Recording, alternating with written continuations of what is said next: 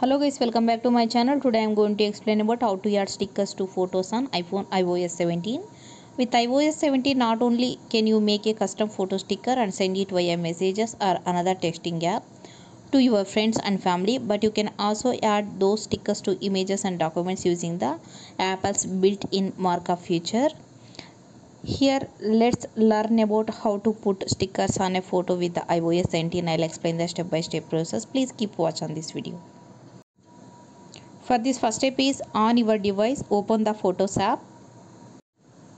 Select a photo you would like to add the sticker to and tap edit. Tap the pen in a circle. This is a markup button. Tap the plus icon. Tap add sticker. Select a sticker then you can move the sticker around the photos until you would like this placement. Tap the three dots in a circle for more options. From here you can cut paste duplicate or delete your sticker from the image.